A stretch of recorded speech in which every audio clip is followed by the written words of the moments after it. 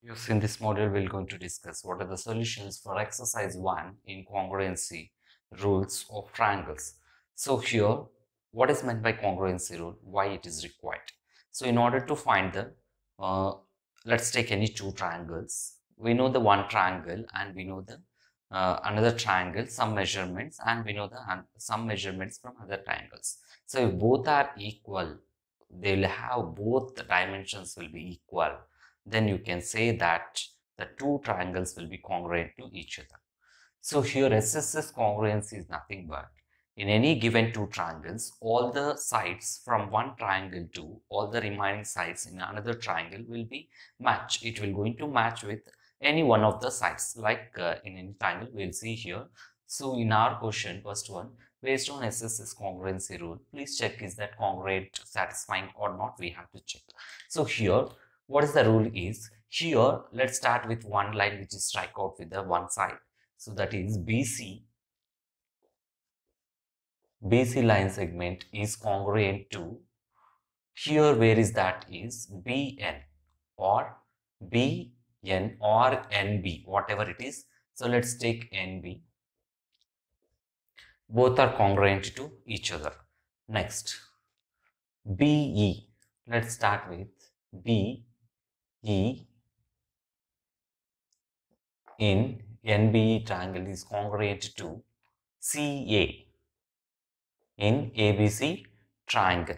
CA is congruent to BE here. Okay. Then EN. EN is congruent to EN is congruent to AB.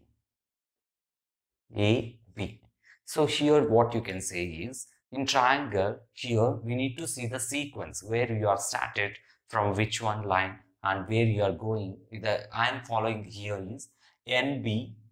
So NB to B and EN. So here BC, AC, uh, sorry CA and AB. That is the rule we are followed. So then what you can say is all sides are corresponding sides are equal in both the triangles. Then what you can say is triangle NBE. NBE is congruent to triangle. Here NB means here NB is there. For that NB is one line is there. For that measurement only you have to take. Then you have to go with BE only. You should not come EB like that.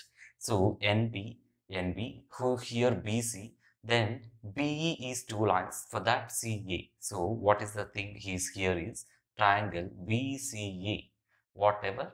So here NB is equal to BC, BE is congruent to CA and NE is congruent to BA. So like that format it is there. Next one. So here second one is, so what is that triangles is, let's take two triangles LDA and LDS. So let's take two triangles in this given so what is that? Is let's take LD is congruent to in this LDA LD is congruent to LD in that. Next here 4 centimeter is there. So let's take LDA is congruent to DS LDA is congruent to DS in this triangle. Then what? LS or SL is not congruent to DA that is LS is 2.5 centimeter and DA is 3, 3 centimeter. Then three sides are not equal, three sides are not congruent to each other. Then what you can say is that triangle LDLA is not congruent to triangle LDS. So both therefore two triangles are not congruent congruent by SSS congruency criterion. So why? Because here both the measurements are different here by the three sides. So here LD is a common in that. Next question. So our second question is we need to tell is that congruent shapes are what are the angles we have to find for that congruent triangles. So here triangle PQT PQT is congruent to triangle RQS. So why? Because I am starting from one single line and I am going the direction of third line. So three sides. So like that we have to strike that Q. So for that we have to go from R we have to come to Q then we have to go in this direction. So like the directions only you have to go. You should not go Q or S for the PQT. You should not take TPQ, TQP for the uh, RQS like that. Whatever dimension where you vertex for that corresponding that only you should move. Then what simply if you already we have written congruency to congruency criterions then simply you can write angle P will be equal to angle R, angle Q will be equal to angle Q, angle T will be equal to angle S. These are the congruency angles to the remaining things or you can write in the format of angle angles are like this then sides also we can write. What is that is first pq is congruent to first p with that first r.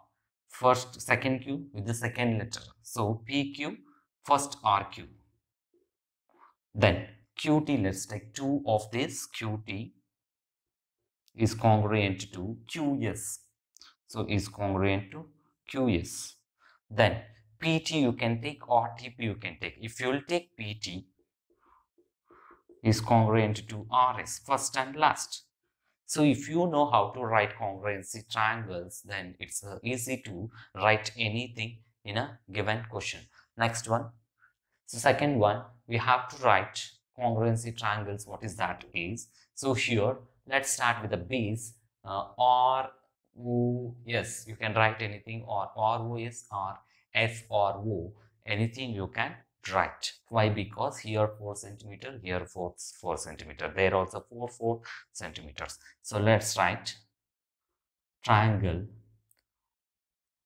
ROS is congruent to triangle POS POQ so these two triangles are congruent to each other. Why? Because below RS and above PQ are both dimensions and remaining POOQ and ROS are, are same. So for that, so what is that angle is? Angle R will be equal to angle P. First and first, angle O will be equal to angle O. Next, angle S will be equal to angle Q. So first with the first first triangle, first uh, vertex with the first vertex in another triangle, second vertex in the first one and second vertex in the second triangle and third vertex in first triangle and third vertex in second triangle. And what are the sides is so from this ROS and POQ what you can write is RO is congruent to PO then OS is congruent to OQ then RS is congruent to PQ so, uh, without seeing your figure, you can write the congruency rules and congruency angles. How is we should know what is the format of given triangle congruency types. So, thanks for watching this video. If you have any doubts and comments, please give in the uh, comment section and please subscribe.